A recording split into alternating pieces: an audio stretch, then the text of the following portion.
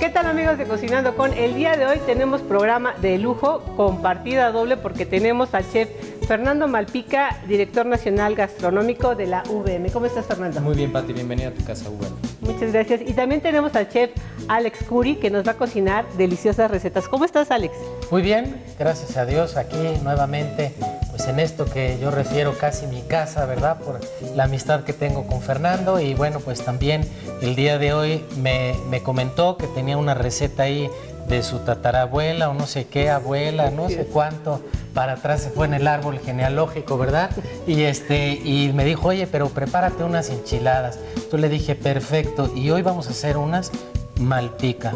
Y digo malpica porque tiene poquito chile para la gente que no come tanto chile. Yo sé que esto pues, puede traspasar fronteras y ir hasta el otro continente, más por lo que vamos a acompañar la, la receta de las enchiladas. Y tú me decías que Mira, ¿Llevaba? Alex, yo voy a hacer una receta de mi abuela. La receta de mi abuela es un arroz marroquí y, este, y va perfecto con las enchiladas malpicas. ¿Qué tal el sazón del día de hoy, no? No se vayan porque saben que nosotros comenzamos.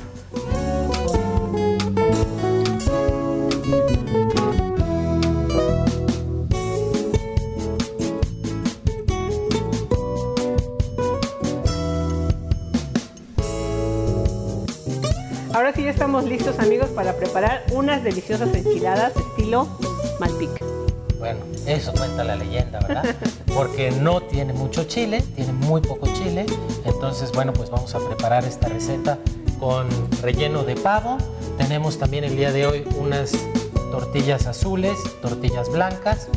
Vamos a hacer el relleno de pavo, que ya lo tenemos por aquí cocido, y una salsa de encacahuatado, que como platicamos, pues tiene poco chile para la gente que de repente dice, bueno, sí, pero son enchiladas, pero que no me enchilen Pero que no me pique. Exacto. Entonces, bueno, pues, ¿las haces tú o las hago yo? No, las vas a hacer tú, mi querido Alex. Yo sé que yo puedo si tú me das la instrucción. pero oye, lo que quería que me platicaras un poquito es cómo preparaste la, la salsa de las enchiladas que vamos a comer el día de hoy. Mira, esa salsa de las enchiladas tiene una base de jitomate que se sazona bastante. Primero se asa un poco al comal, se, junto con algo de cebolla, un poquito de ajo, y después de que se asa bastante, eh, ya se licúa todo con esa base, como te digo, de jitomate, y posteriormente se dora nada más un poco el cacahuate crudo, sin sal, porque luego no van a comprarlos de la bolsita, ¿eh? despacito hay que Naturales. pelarlos, Ajá. naturales, y entonces lo licuamos junto con un poco de caldo, y eso ya se deja sazonar, y listo, tiene muy poco chilito de árbol y nada más. Algo que yo no he mencionado y que quiero que Alex nos platique es, Alex, ¿cómo se llama tu negocio? La Casa de las Enchiladas. No es anuncio, pero www.lacasadelasenchiladas.com y ahí pueden ver todas las sucursales que tenemos, dónde están situadas y bueno, pues ahí ustedes podrán encontrar más de 2000 combinaciones de ¿Qué tal, enchiladas eh? donde poderle dar al gusto de cada uno, ¿verdad? Y bueno, lo que estamos haciendo aquí es rellenar nuestras tortillas. Tenemos una que está pasada por un poco de grasa, un poco de aceite, perdón, de manteca. Y otras dos que no vamos a pasar por esa manteca para que no tenga tanta grasa, pero sí quise hacer esta distinción con las dos tortillas para que las podamos tener en el mismo plato y ustedes puedan ver la diferencia pues de, de ambos, ¿no? Vamos a pasarlo una vez que se tiene así relleno, lo vamos a pasar al plato, ¿verdad? Y una vez que se tiene ya esto así en el plato, vamos a calentar simplemente la salsa que ya teníamos previamente elaborada para que no estemos aquí licuando y luego se me espanta, me hace mucho ruido. Tranquilos, tranquilos, que es tele, dice. Entonces simplemente lo vamos a calentar un poco más y posteriormente vamos a rellenar, digo ya están rellenas y vamos a salsear esto. Y de decoración, el día de hoy a mí la verdad me gusta el queso fresco, tenemos un poco de cebolla morada, también tenemos cilantro, que eso al final de la línea le da ese aroma y ese toquecito muy especial y un poco de crema. Lo vamos a acompañar con unos frijoles refritos y bueno pues así como lo ven, sencillo, pero la ventaja y la grandeza de este concepto, este gran concepto es que siempre les he dicho, se desayuna, se almuerza, y se come, se merienda y se Ah, ¿qué cena. tal, eh? Y si no, pues a las pruebas me remito, ¿no? Y lo mismo, cualquier gente de cualquier extracto social o económico que se come unas enchiladas, como el presidente o- de la República, no me digan que un mexicano no, ha comido enchiladas. enchiladas.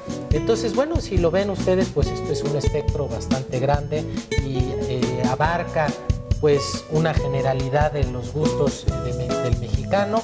Tenemos desde salsas como la que estamos presentando el día de hoy, malpica, que pica un poquito, no mucho, ¿verdad? Y una salsa de siete chiles para la gente que gusta de verdad de enchilarse, ¿verdad? Y estar ¿eh? cuando está comiendo, pero bueno, pues así es como presentamos las enchiladas y este gran concepto que gracias a Dios ya tenemos, estamos por cumplir 15 años. ¿Qué tal, eh? Y oye, te quería preguntar, lo de nada más pasar por la, por la manteca, es para darle también sabor, ¿no?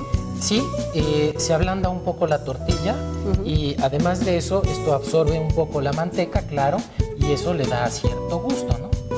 Hay mucha gente que dice, no, yo no, yo sí, en gusto se rompen géneros. Entonces, imagínate tú, si tienes más de 2.000 combinaciones, de modo de que diga alguien, oye, a mí no me gustaron. Si no le gustaron, es porque no escogió el ingrediente adecuado, porque tenemos más de 20 salsas, tenemos otros tantos rellenos, este, otra variedad, 7, 8 tortillas diferentes. Siempre tenemos una especialidad cada 15 días.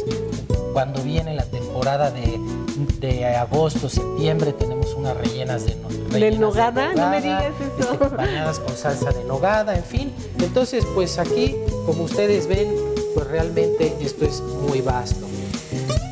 El relleno que lleva este, esta enchilada, ¿cómo lo preparaste? Yo sé que es eh, pavo, pero ¿qué es eh, pechuga de pavo? ¿Qué es? Sí, es pechuga de pavo y tiene un poco de piernas, si ves la diferencia entre el color y eso, la verdad, gustamos de mezclar la, por la dureza de la carne y por el sabor de la carne. Entonces, se prácticamente se hornea todo el pavo, se cocina primero un poco en agua, después se termina al horno, se deshebra el pavo y tenemos aquí un poco de pierna, de pechuga de pavo y con eso es con lo que estamos rellenando el día de hoy. Y bueno, pues como ustedes ven aquí, ya están cubiertas de esa salsa de encacahuatado y después simplemente le vamos a poner un poco de crema. Oye, se ven espectaculares, o sea, no, no se me hubiera ocurrido presentarlas de esta manera y así como tú lo haces y de una manera tan amena además. Vean qué platillo tan sabroso. Hasta el camarógrafo yo está diciendo que se le está haciendo agua a la boca, ya lo vi. Levantó mano para hacer mi trabajo, que ya saben cuál es y lo voy a hacer ahorita. Oye, qué increíble. eh, me gusta este concepto, Alex, que con algo que es muy nuestro, muy de nuestro México, Claro. hagas toda esta variedad y ve con algo tan sencillo como hiciste algo tan, tan espectacular. Aquí me van a pasar ya mi instrumento de trabajo. Ajá, perdón. Pues ya mira, nada más le vamos a poner. ya estamos en el último, en el último toque, donde simplemente vamos a cortar este poquito de cilantro para decorarlo y también para darle ese aroma Color al final sabor. recién cortado, ¿verdad? Y bueno, pues Se ve tan bien el plato que hasta pena me da probarlo, pero ya saben que alguien siempre tiene que hacer el trabajo duro de aquí de Cocinando con. Y desde ¿Eh? luego la afortunada pues soy yo. Muchas gracias, no, mi querido al Alex. contrario a ustedes. Y bueno, nos falta todavía acompañarlo con el arroz. Aquí pusimos un poco de frijoles, nada más para que vean un poco el concepto de la casa de las enchiladas, cómo se muestra y todo. Pero en verdad es que hoy lo vamos a acompañar Con ese magnífico arroz de la tatara, ¿qué? Tatarabuela decimos o, o bisabuela, ya no me acuerdo. de Pero- Fernando. Pero bueno, enseguida volvemos con él también para acompañar estas recetas con esa deliciosa receta de arroz marroquí. Así es, amigos. Alex ya no me deja hablar porque miren, ya se me hizo agua a la boca. Yo me voy a quedar probando estas deliciosas enchiladas. Y no se vayan porque todavía tenemos más para ustedes. Gracias, Alex.